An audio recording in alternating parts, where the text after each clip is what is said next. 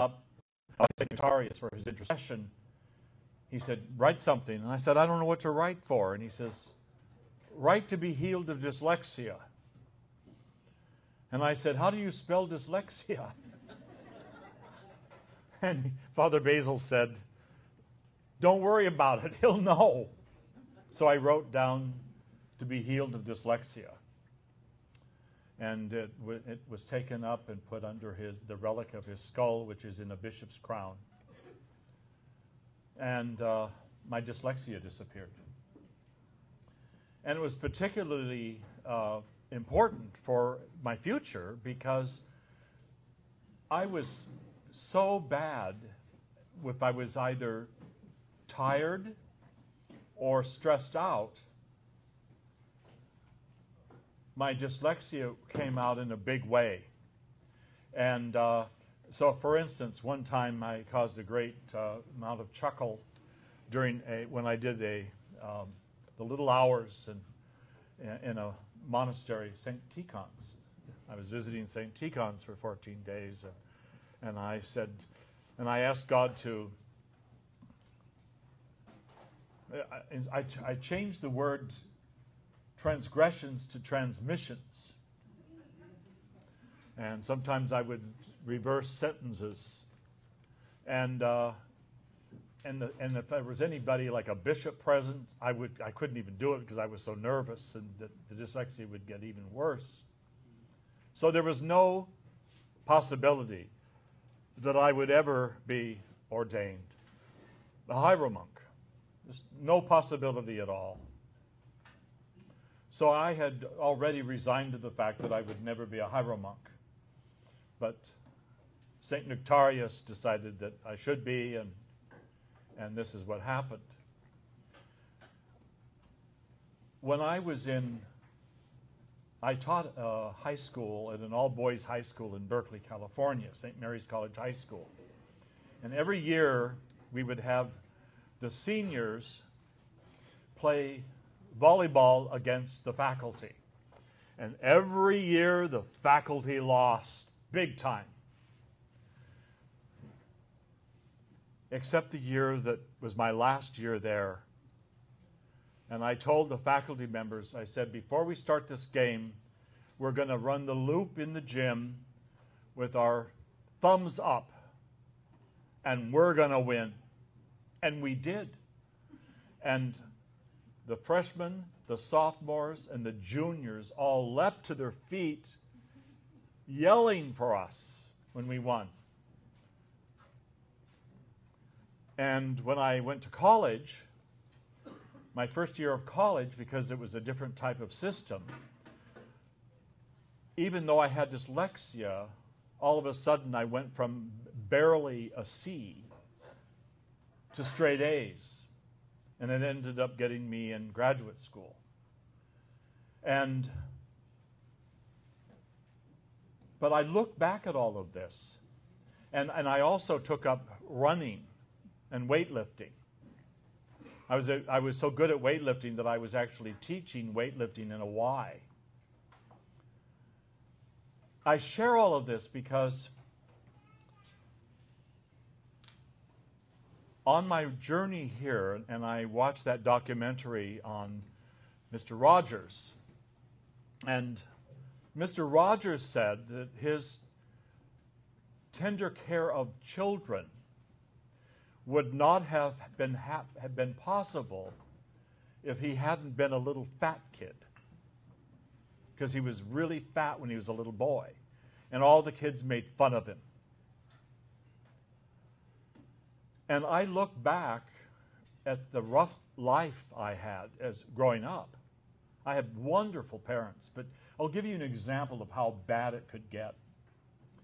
My dad was a golf pro, and on in the summertime, there was uh, Women's Day was Thursdays, and the women would all come and play golf together, and and the club was open to just women. And my mother was a fabulous cook, and my mother ran the kitchen for, for Women's Day. And so she would put out a beautiful dinner, and then she would, and, and my first job at 14 was waiting tables in that cafe there, the restaurant at the country club. And I was very proud of it. And, uh, and I remember to this day, there was one table with seven women sitting around it, and I was pouring their coffee after I'd given them their dessert. And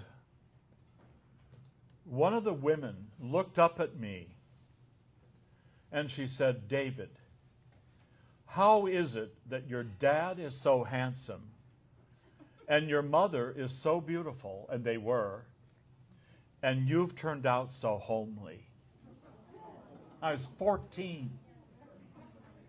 And I remember to this day turning beet red and hightailing it into the kitchen. And my mother said, What happened? And I wouldn't tell her. I didn't tell her till she was in a rest home. And I finally one day told her, I said, By the way, Mom, you should know this. She said, I would have busted him. And the worst part of it was that the woman that said that said it in front of all these other women, and not one of them followed me into the kitchen to say that's not true, which meant they all agreed that I was homely.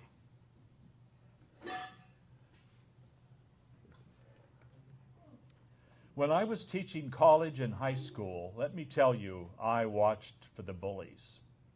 They didn't stand a chance in my class.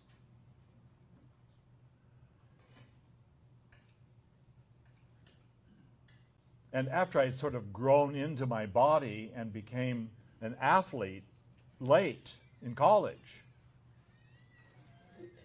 I still remembered all that. I still to this day remember that.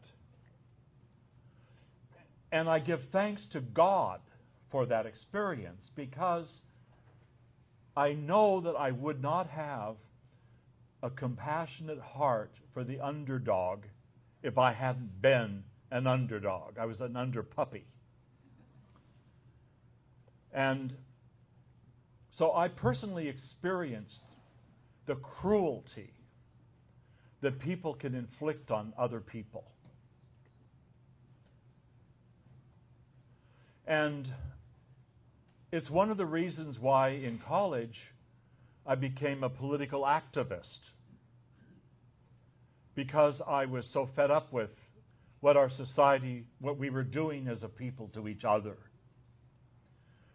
I, I still am fed up with that, but in a different way. The different way is that I recognize that everyone, like this little boy that I was, needs love. And they need, every one of us, needs to be affirmed by others. And every one of us needs to be vigilant that if we see someone else being picked on because of their race or their gender or whatever it would be, we need to stand with them.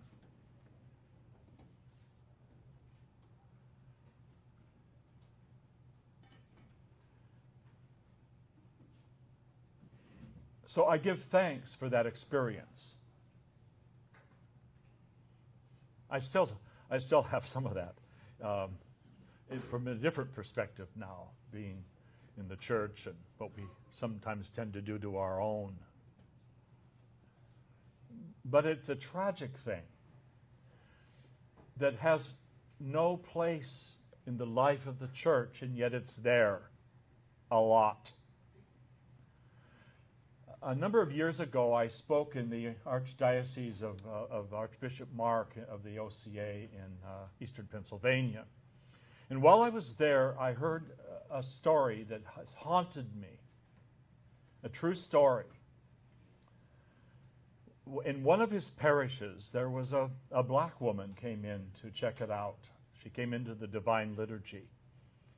And a woman walked up to her and she said, Why are you here?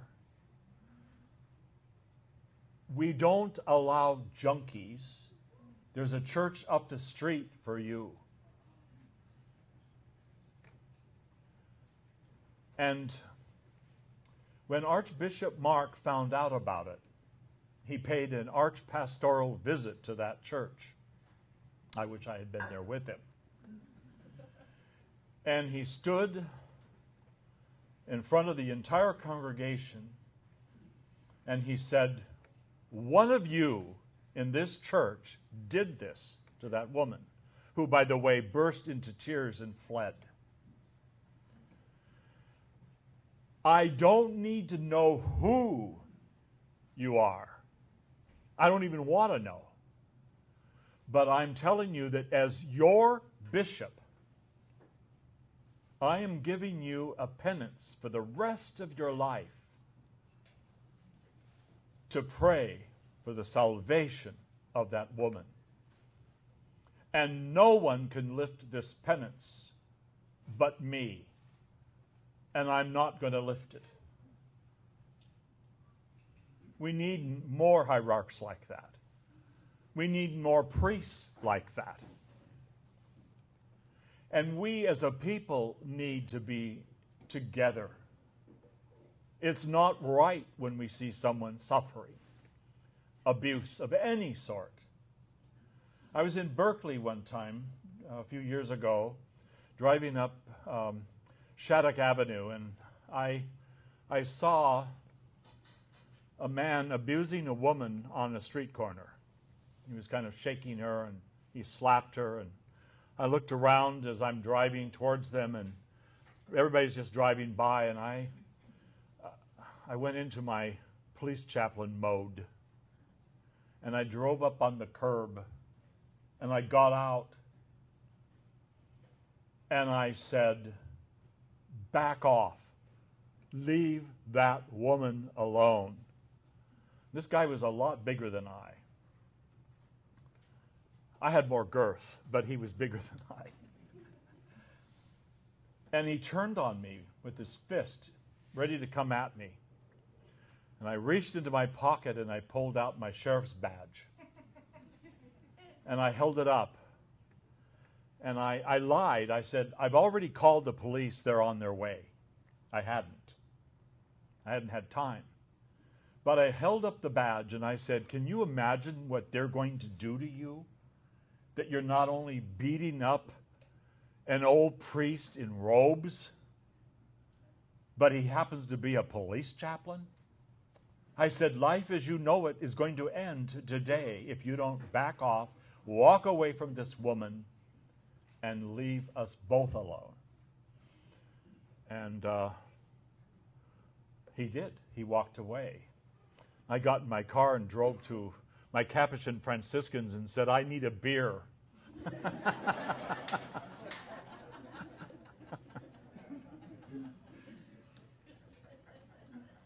but our, our world, our society would be a whole lot better if, if none of us ever allowed ourselves to put blinders on. I don't see it. I don't know it's happening. Because that's all, all that is is denial. It's not only denying what's happening to another human being, but it is throwing our personal responsibility out the window. And I really believe that when we stand before the throne of God, we're not going to be asked, Did you make the sign of the cross properly and dramatically enough? Did you have the proper bow? Were you in all the liturgical services? Did you do everything by the book? Were you orthodox enough? What we are going to be asked is how we have loved God and our neighbor. That's what we're going to be asked. And many sins will be forgiven by our being activists in the Christian sense, changing lives by interacting in a positive way with those that we, from whom we come in contact.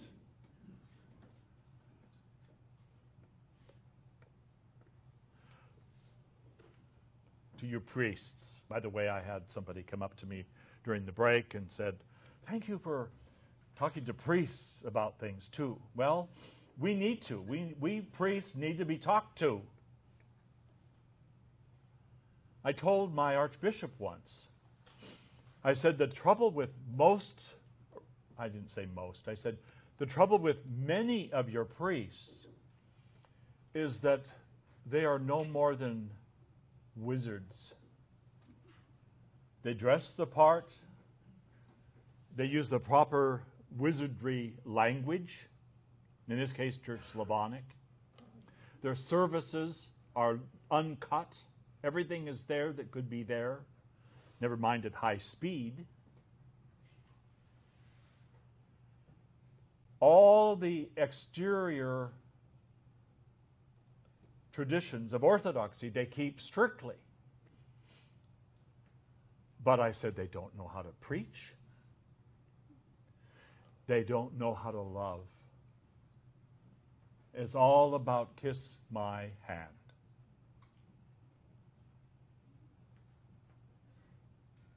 That is a giant mistake for we priests.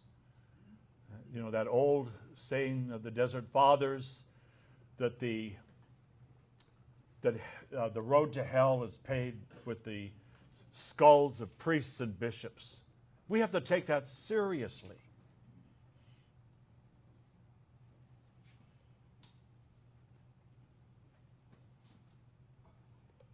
But we also have to take that seriously as the people of God.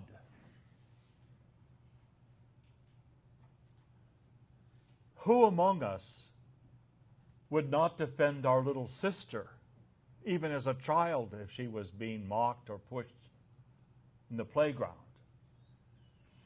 And yet we allow the women in our lives, or even our neighbors, to be abused and mocked in a sexual way.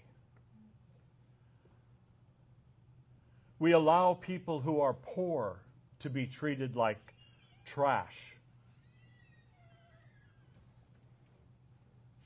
I was in a restaurant in San Jose many years ago, and a homeless person came in, had been collecting money out front and he came in to have lunch. And the waitress came up and said, You can't come in here. And he says, But I have money. You can't come in here. And I got out of my booth and I walked up and I gave him a hug and I said, He's with me. And, and I had him sit in my booth. She backed off. I was dressed properly.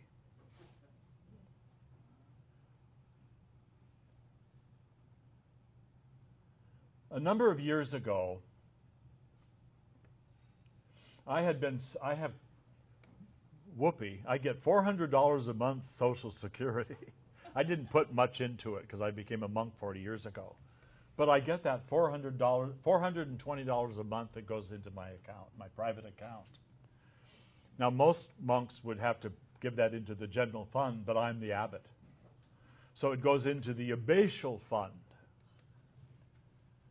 And initially, a doctor friend of mine who's Norwegian had said, Father, if you raise, if you can save $3,000, I will take you to Norway.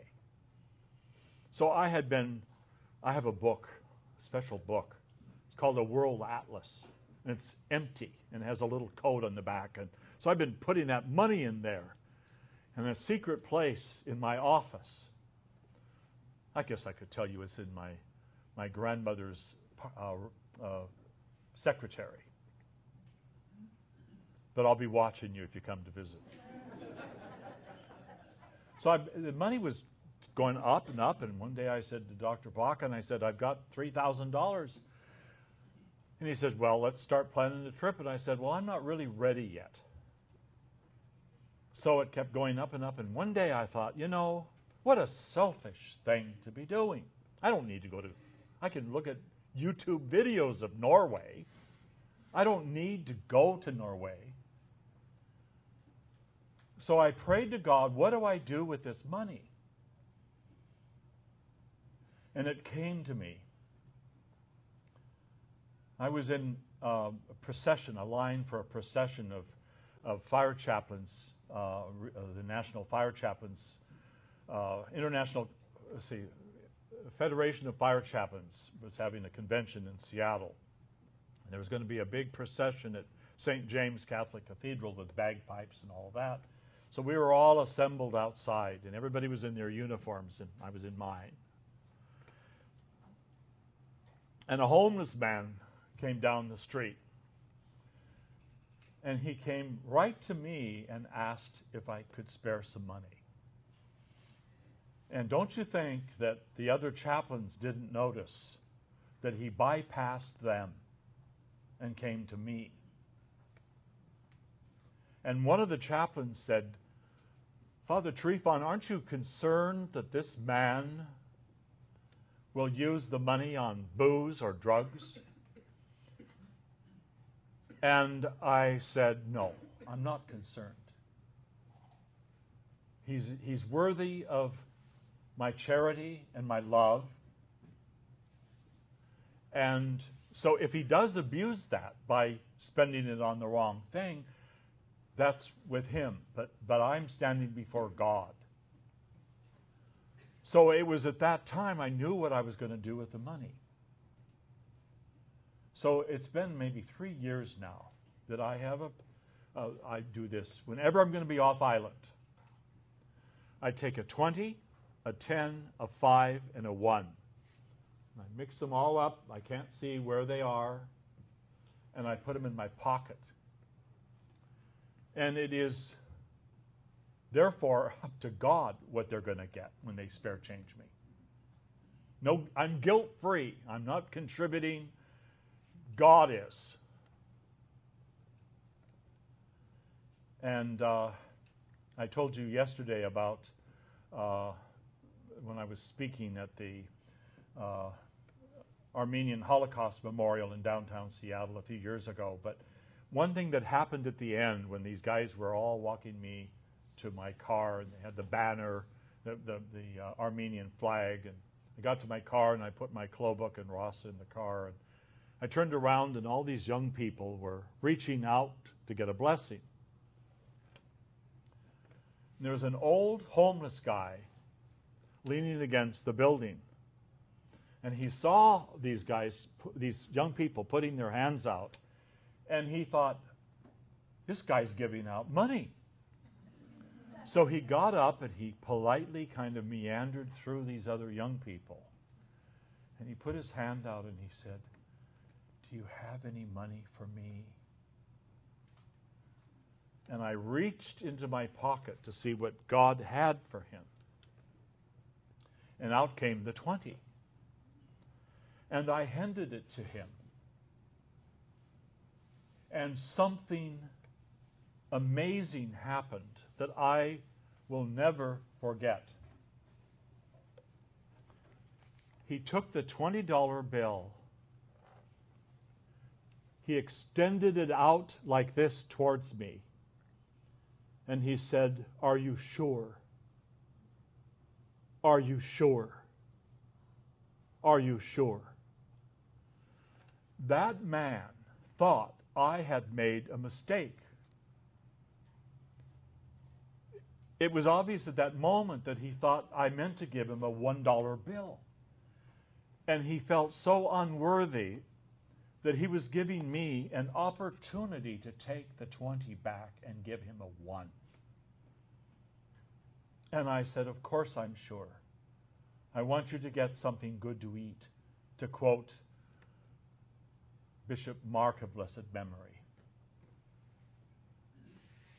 And as the man turned, he was holding it, looking down, and he said quietly to himself, Now I can. There's a guy on Vashon Island. He's a homeless man. He lives in a forest. And uh, his name is Jake. He is filthy. He never bathes. And he's always leaning against the wall in front of our drugstore. And he has a problem with alcohol and drugs. And everybody knows it. And one day there's a crosswalk that's right in front of our one street little gathering, our, little, uh, and it goes from a, a, a little cafe directly across the street to the drugstore. And I'm coming down the street in my car, and I see that he's starting to make to, to cross the street. So I stopped. And he looked at me and he went like this, but with the middle finger. And I'm thinking, where's this come from? A week later, there was a young man, 25 years old, who shot his head off with a pistol, committed suicide. And I was called by the sheriff's department. And I arrived, and his mother and his father were there, and they were sobbing and couldn't be consoled. And they're my friends to this day, these people. And so I helped try to walk them through. There was no suicide note. Their son seemed happy. He had a wonderful girlfriend. He had a great job. And all of the the young people on the island adored him. And he was kind of the leader. And no one to this day understands what happened and why he did this. So I'm going into the drugstore. I pay their, I, I pay their salaries, by the way, being my age and all. And I'm going into the drugstore, and, and, and Jake is sitting there.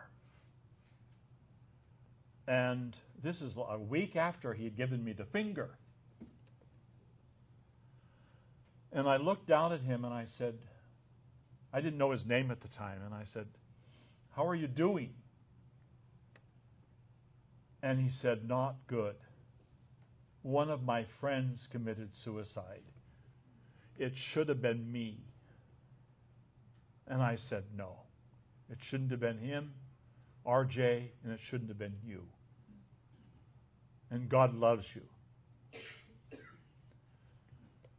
And he started to cry. So later that day, I stopped in to visit with RJ's parents to see how they were doing. And I told them about Jake and what he had said.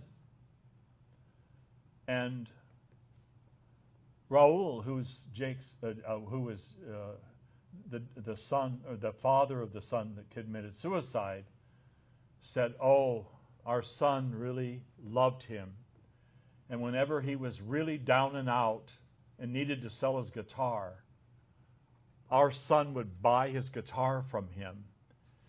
And when he had the money, he'd give it back to him. So there was no chance that it would be lost, you know, in one of those, uh, what do you call the places? Pawn shop. And, and then he said, RJ would want him to have his guitar back. We have it. Would you come with me? And I said, sure. So we went to see this young man. He was about probably 28. And we walked up to him, and he's leaning against the building as usual. And Raul handed him the guitar. He said, RJ would want you to have this. And the poor young man burst into tears again. And then I said, But there's a, a, a hitch on this. I said, You, um, a hook, or whatever the word would be. I said, Whenever you see me, I want you to play me a tune. The guy was a composer. And to this day now, if he happens to have his guitar, it's back and forth between somebody else now. But if he's got that guitar, I always stop and I said and I say, play me a tune. And he does.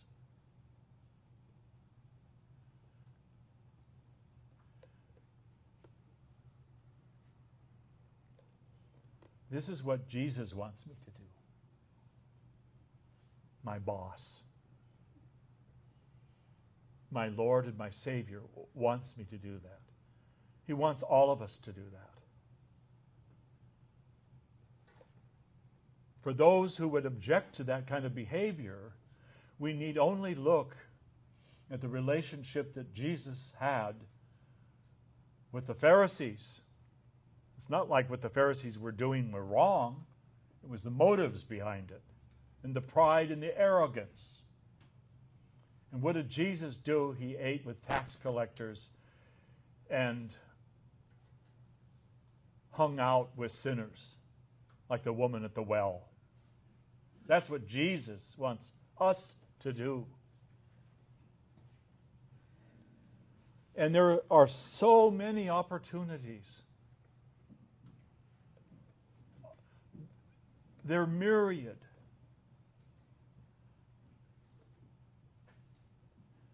I was in Tacoma early one morning. I'd been called by the sheriff's department because of a deputy that had been shot. And uh, so, in the early hours of the morning, I went to a little breakfast cafe. And I'm sitting there, and there's hardly anybody in there, but there's an elderly woman sitting at a table, and she's eating her, her breakfast. And, and I looked at her, and she looked so lonely. And I immediately thought of my grandma. By the way, my Grandma Harrelson's name was Mabel. But as a young woman, she changed it to Dolores. And she gave her daughter, her firstborn daughter, the name Dolores. So here's my Norwegian mother with his Spanish name, Dolores. And we could never understand why Grandma Harrelson took the name Dolores until one day we found out that she took the name uh, from some singer, dancer uh, uh, of the 30s, I think it was. So she became Dolores. And uh, so I'm looking at this woman and I'm thinking, like, this is my, my grandma. And so when they brought me my bill, I said, I want you to put her bill on mine. And so as I, I, paid the bill for both of us, and as I'm leaving the restaurant, I went over to this table and I looked down at that woman and I said, I bought you breakfast. And she looked up and she said, You did? And I said, Yes. I said, This morning you are my grandma. And I love you and I want you to have breakfast on me. And she started to cry. And I had another occasion when I was up in Buckley, which is near Mount Rainier. And uh, same thing, I went into a restaurant for breakfast, and there was an elderly woman who was sitting in the booth opposite mine. And she was facing me, and she had a, a pauper's breakfast. It didn't. It wasn't much at all. And and I I looked at that and I thought that I bet you that woman doesn't have much money, and I bet she's very lonely.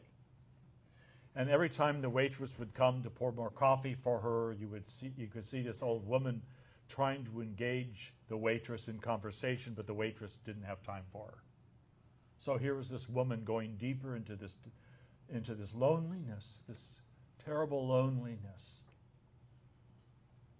So when I was leaving, I paid uh, when the waitress came over and I paid the bill for both of us. And meanwhile, the old woman called for her bill, and the waitress said, "Oh, he paid your, your bill." And she looked at me and she said, "You did?" And on her way out of the restaurant, she turned towards everyone in the restaurant and she said, I'm 86 and no one has ever bought me breakfast until today. And this has made my day.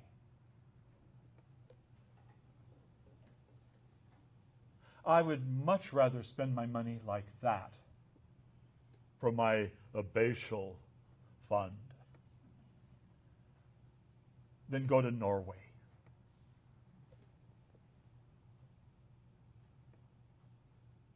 When I stand before the throne of God, I'm not going to be asked, Well, how did you like Norway?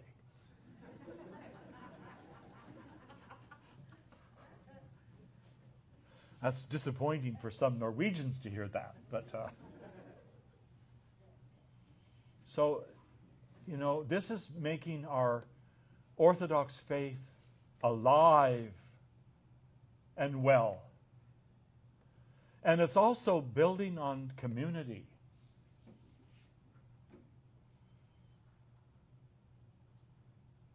I uh, one day, Father Moses or Father um, Martin, who's our cook, we had had lots of visitors for days, and Father Martin had been doing all this wonderful cooking. And I finally said one day to uh, I said, "How would you like it if the old abbot took everybody out for pizza today?" And he says, "Oh, that would be wonderful." So we went to a place called The Rock, which is a pizza parlor on the island. And they have good beer and good pizza. So we went there and we had two big pizzas. And, and while we were there, there was an elderly woman, there was a couple um, with an elderly woman sitting with them at another table. And this old woman kept staring at me. And I thought, why is she staring at me? And finally, she came up to me and she said, Father Tryphon, I want to thank you that that day that my husband died, and on Vashon Island, uh, the first ferry uh, is after four in the morning. And so if you're if you have a death on the island, uh, the medical examiner cannot come to the island until the first ferry, which means that a body of a deceased person, whether they're suicide or death by natural causes, has to stay there.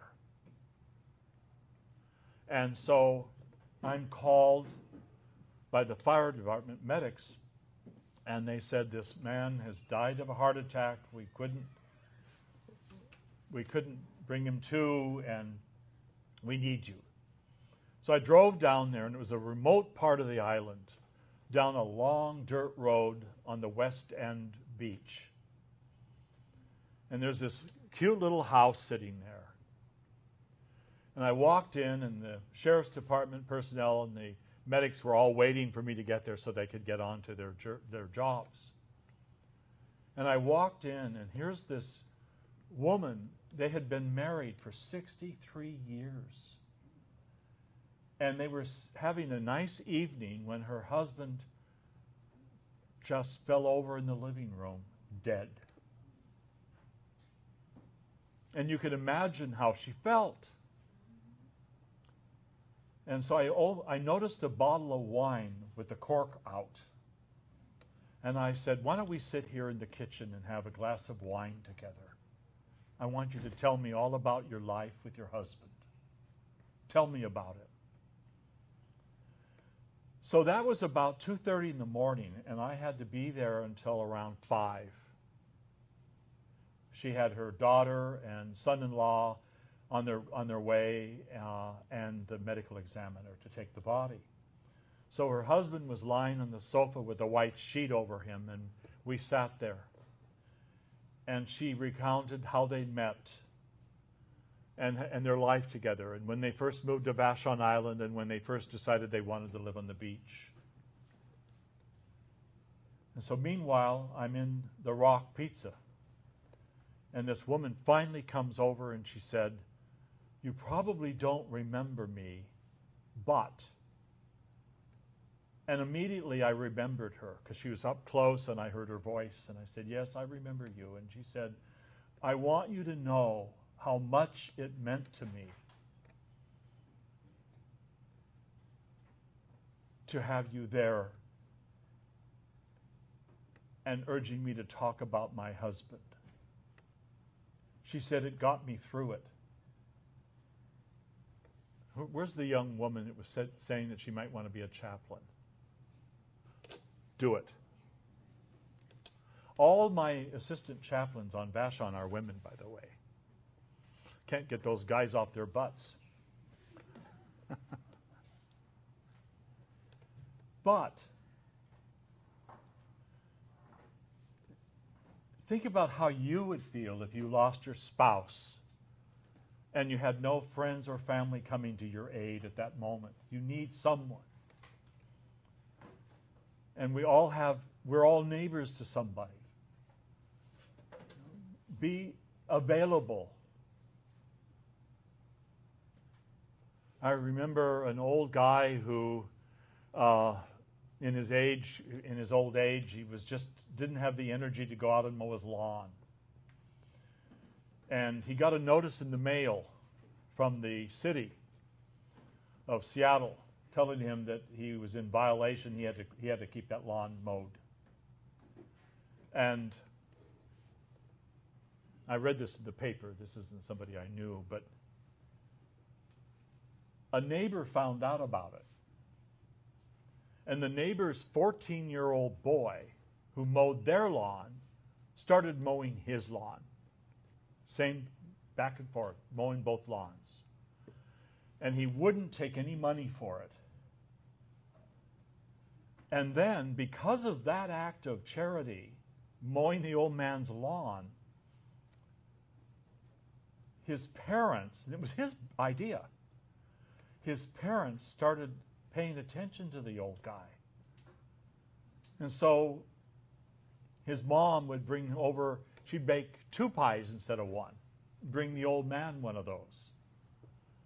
And for Thanksgiving and Christmas, they started having the old man over to dinner. It was life giving. And you know what I think of when I, when I hear stories like that? I think of the Good Samaritan when the priest is passing by the man that's been mugged and robbed and left in the ditch. And the Good Samaritan, the outcast, stops and not only takes care of him and dresses his wounds, but he puts him on his own mule and he takes him to a, I don't know whether they didn't call them hostels, but whatever. And he takes them there, and he pays the proprietor of this place, take care of this man, and when I come back through, I will, I will give you what the cost has been. And of course, that was one of Jesus' parables. And it's a message for all of us to be like the, like the Good Samaritan to everyone that we come in contact with. And in turn, what happens is that our own heart is warmed.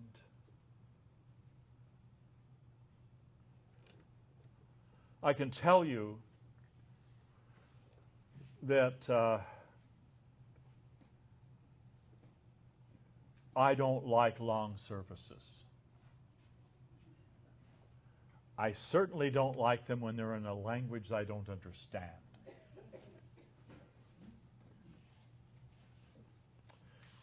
and getting close, three minutes. And uh, so when I experience those services, and i if I'm at the least bit tired, and at my age I'm tired a lot, I just want to, I want to go across the street from our cathedral and, and have a cup of coffee and, and, and engage people in conversation. And uh, but so in, in other words, I'm telling you, I am not a very good monk.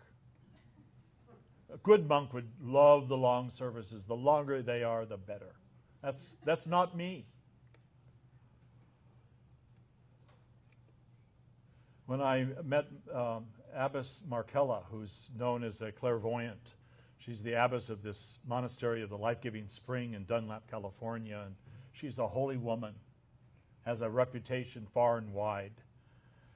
And when I was giving a, uh, a conference uh, at the uh, Orthodox Christian Fellowships conference there, and I was going to meet this woman, and I thought, oh no, I know she's going to see right through me. She's going, oh my God, this guy's a bad monk. And you know what she did instead? Oh, Father Tryphon, t- three of my nuns are here because of you. Said, what? When they were little girls, the Greek summer camp took a school bus out to visit your monastery, and you did your Athonite beard trick for them. I can't do it anymore. My beard isn't like it used to be. But I used to put my beard up here. I put this hat on. You couldn't see my face, and I put on dark, round sunglasses. And that was my Athonite beard trick. And there was a priest locally that saw me do that, and he said, Father Tryphon, no one will take you seriously if you do that again. but the kids were more important to me than what this guy thought or most everybody else, I guess. And so, unbeknownst to me, three of those little girls on that school bus became nuns, and they told the abbess that their first experience with monasticism was Abbot Tryphon's beard trick. and best of all, this clairvoyant woman told me that. Are you ready for this? In front of the priest and his wife who had condemned me for it. They happened to be there. Now, how wonderful was that? That's like a. All right.